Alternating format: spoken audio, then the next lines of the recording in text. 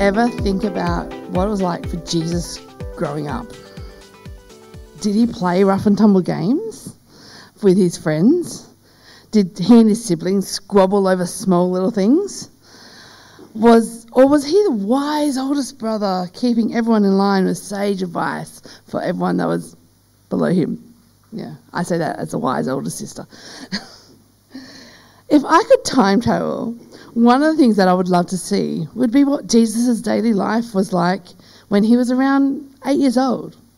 I think it would be fascinating to see little kid Jesus running around playing, doing chores, learning carpentry, all that kind of stuff. I think it would just be fascinating to watch. I mean, there are a number of stories in the apocryphal writings about there about Jesus as a child, but only one story made it canonically into scripture. That is found in Luke 2 41 to 52. Every year, Jesus' parents went to Jerusalem for the festival of Passover. When he was 12, year, 12 years old, they went up to the festival according to the custom. After the festival was over, while his parents were returning home, the boy Jesus stayed behind in Jerusalem, but they were unaware of it. Thinking he was in their company, they travelled on for a day. Then they began looking for him amongst their relatives and friends. When they did not find him, they went back to Jerusalem to look for him.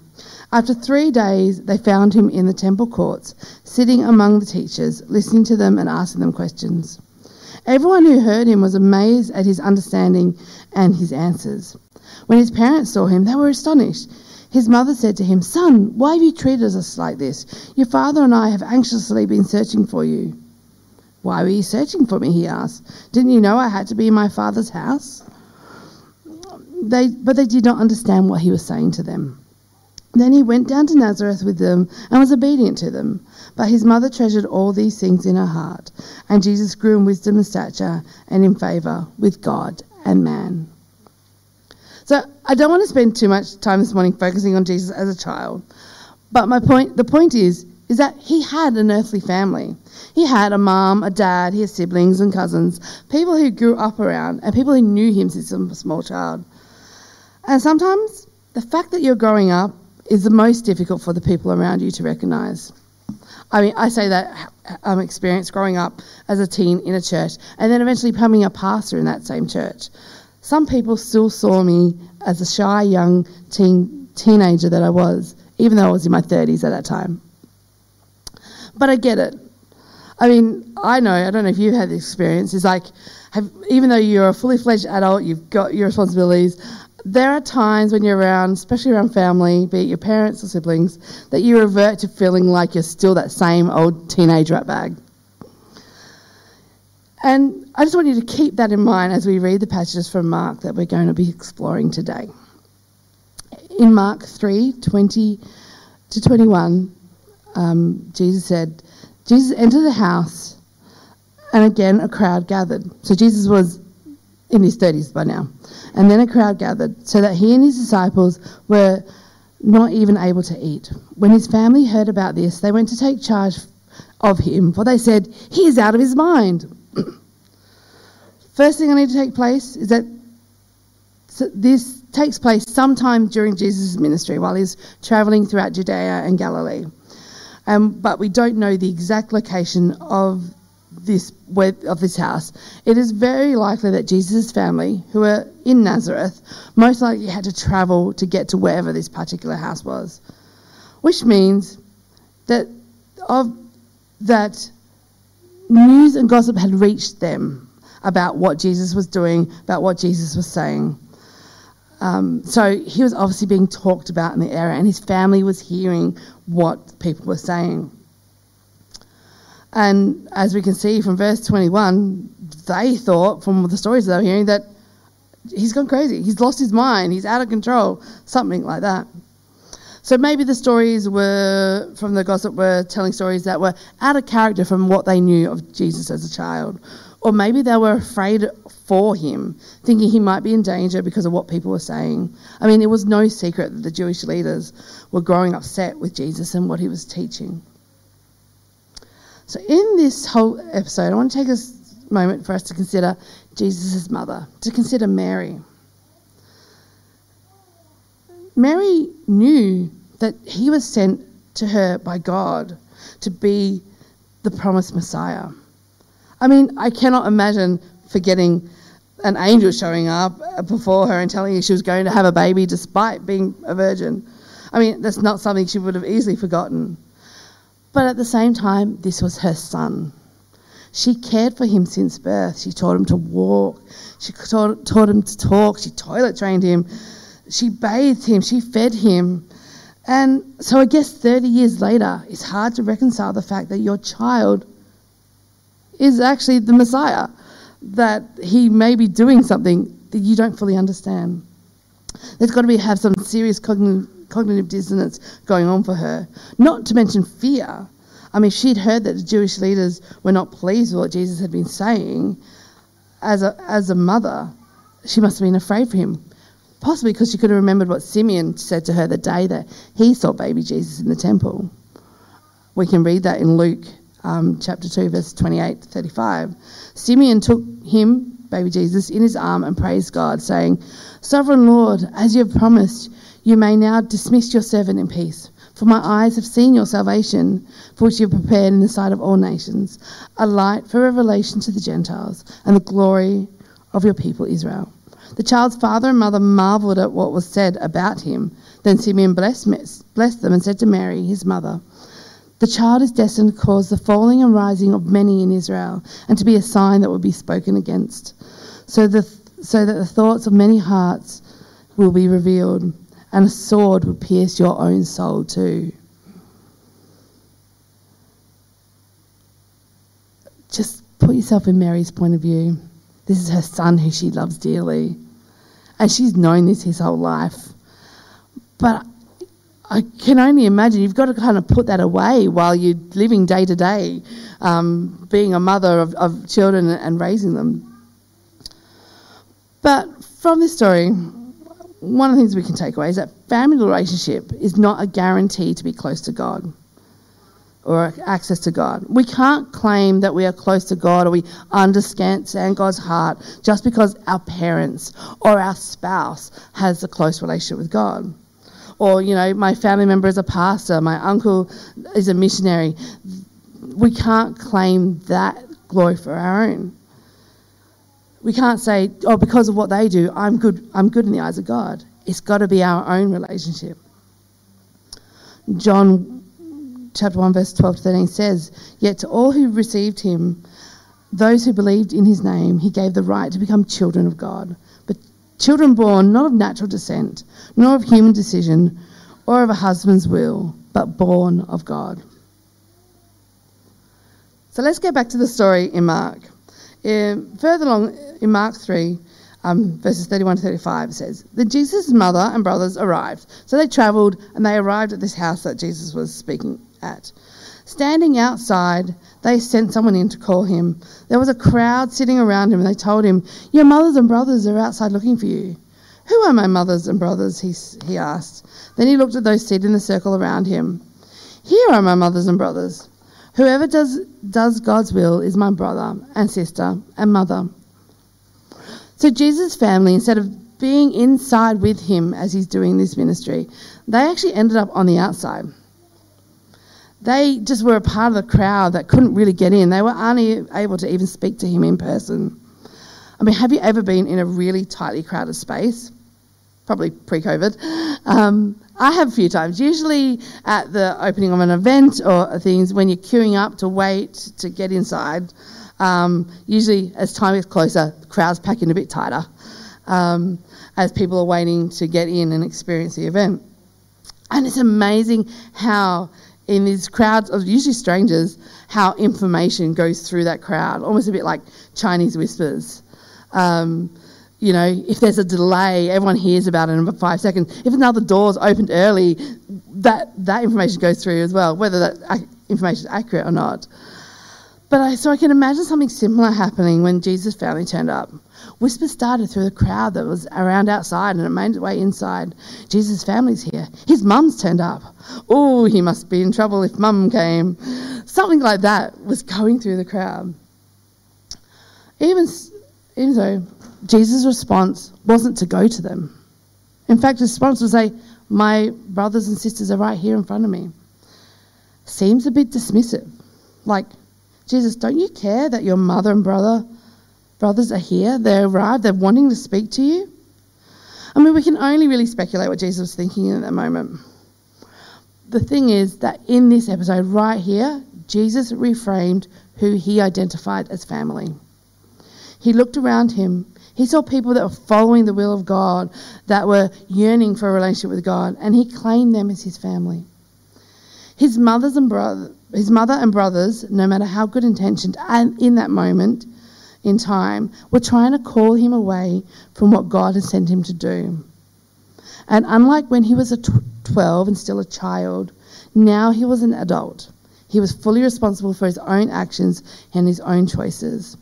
And he chose to submit, and he chose to submit to the will of God instead of the wishes of his family. There was an important point that Jesus was making because in the midst of the people that listening to him were his disciples, the chosen 12 who had left their families, their work, their lives to leave everything behind and follow him. We know this because we're told in Matthew 4, verses 18 22. As Jesus was, was walking beside the Sea of Galilee, he saw two brothers, Simon called Peter and his brother Andrew. They were casting a net into the lake, for they were fishermen. Come, follow me, Jesus said, and I will send you out to fish for people. Once they left their nets and followed him, at once they left the nets and followed him. Going on from there, he saw two other brothers, James, son of Zebedee, and his brother John. They were in a boat with their father, Zebedee preparing their nets. Jesus called to them, and immediately they left their boat and their, fa- and their father and followed him. This didn't mean that Jesus didn't love his family or want to see them, but in that moment, following the will of God was more important, even though they might not have been able to understand it right then. And putting God first can be hard. There are so many distractions in life, and sometimes choosing to follow God means saying no to some good things.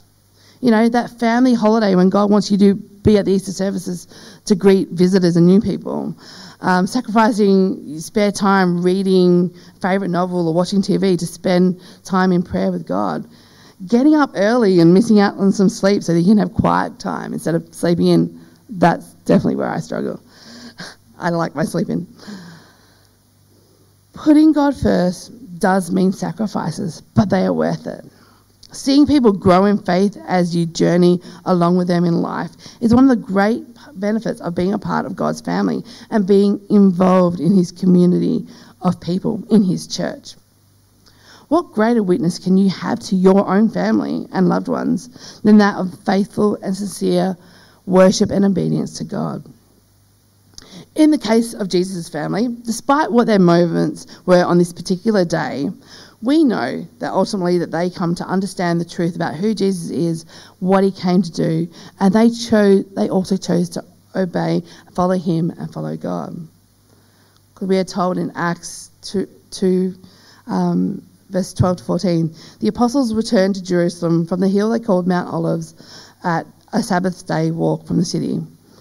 Then when they arrived, they went upstairs to the room where they were staying. Those present were Peter, John, James, Andrew, Philip, and Thomas, Bartholomew and Matthew, James, son of Alphaeus, and Simon the Zealot, and Judas, the son of James.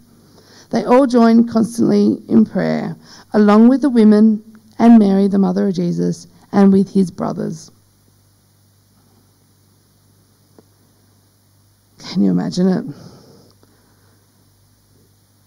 his, his mother, his brothers, they chose to worship him and praise him. They grew up with him. They knew, they knew him better than anyone else. And they, but they, the revelation came to them. They understood his purpose. So, what is the point of this episode that Mark tells us? Is it to make Jesus' family look bad because they thought he was crazy?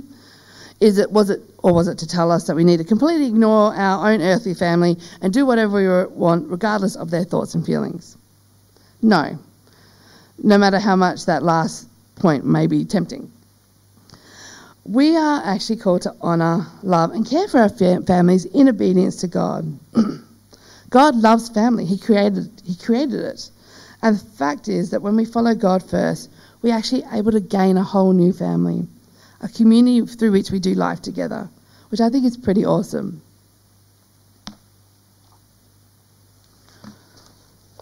As we conclude, I just want to leave with one final verse. It's from Apostle Paul in Ephesians 2:19. He says, You are no longer foreigners and strangers, but fellow citizens with God's people and members of his household. We are all part of God's family. We are Jesus' brothers and sisters. What are you going to do with that? We're going to go into a bit of response time. On the screen is going to be some questions. Um, like, do your family and friends draw you closer to God? Is there something that is getting away of you putting God first? It may be family, maybe friends, maybe something else entirely. How does being a part of God's family make you feel? And how can you help encourage your fellow brothers and sisters in Christ in the journey with God? We're going to take a few moments to reflect on these questions or just reflect on anything God has been speaking to you throughout the service. You can write down your notes or your prayer points on the response cards on your seat um, seat next to you, or for those of you that are joining us by Zoom, um, the the options to connect with us is on the screen as well. So take care, and I'm going to ask David to put some music on. Thanks.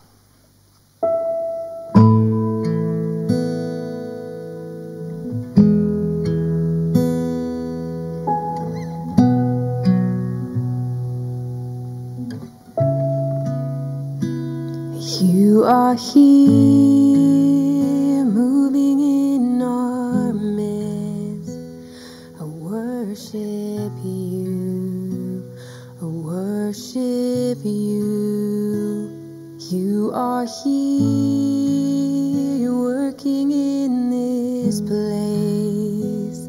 I worship you, I worship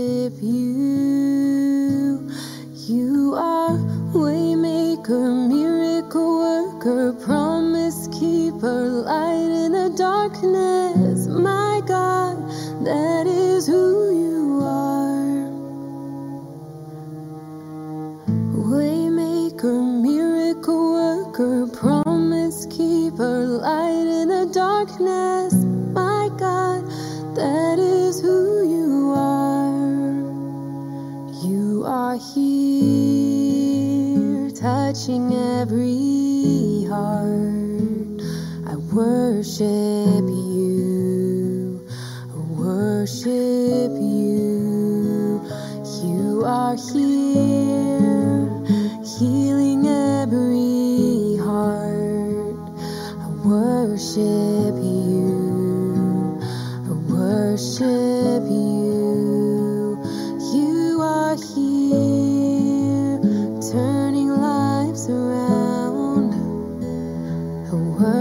Worship you, I worship you.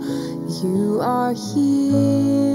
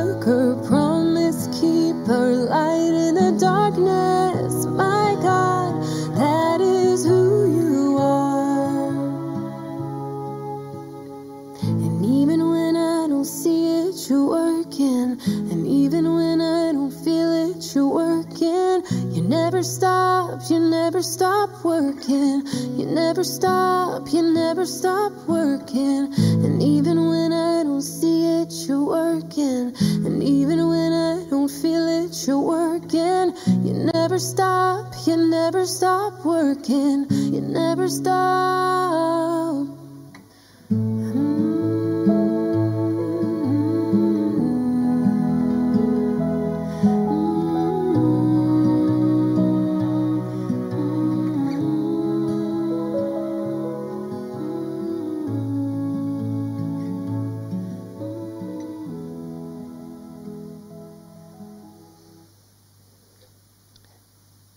Heavenly Father, I thank you that you chose us that you call us child, that you call us your children, and that we are a part of your family.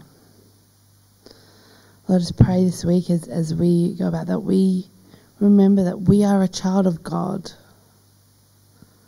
And that no matter what's going on in our world, we have a family right here. In your name, Amen.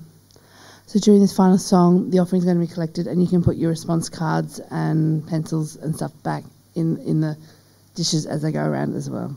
Thanks.